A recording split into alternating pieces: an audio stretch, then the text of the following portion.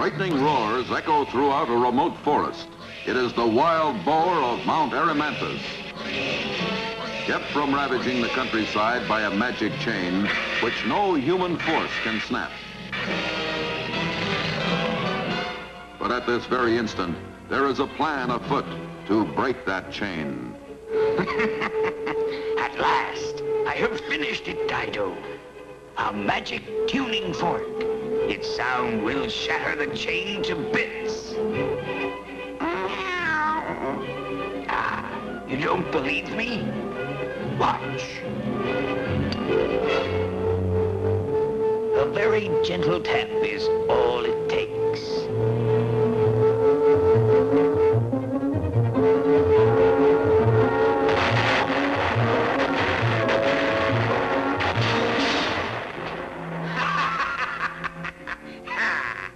saw it, my pet, reduced to rubble by mere sound waves. Believe me now, Dido. Wait here, kitty. I have far more important work to do with this tuning fork. I'm off to release the wild boar of Mount Erymanthus. Who is there to stop the evil wizard? From Mount Olympus comes the stirring answer. The mighty Hercules. Newton, That's me, that's me. Just in time, Herc. Just in time. There he is. There he is. I've been expecting you, Hercules, but you won't stop me this time. maybe you won't think so, Daedalus, after I put on my ring.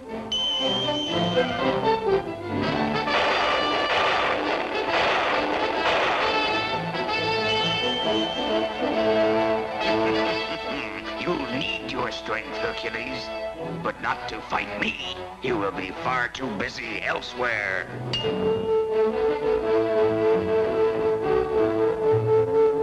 Suffering Psyche. He hit the mountain peak with sound waves. Sound waves. And look what's happening. Look what's happening. Great Zeus! When that peak topples, it'll crush that boat in the river below. There's no time to lose. Olympia!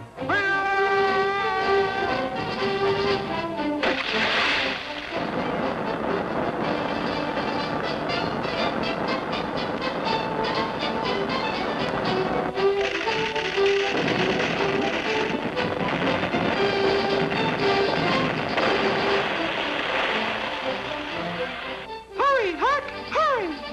Is almost there. Almost there. Know, Newton. He's made us lose a lot of time. On the double, Newton.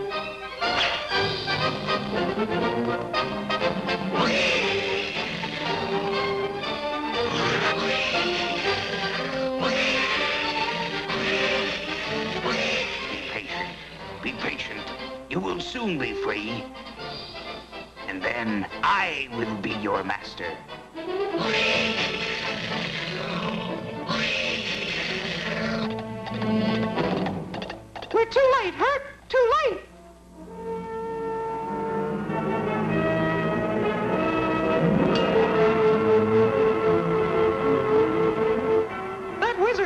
This time. Beat us this time. Maybe not, Newton.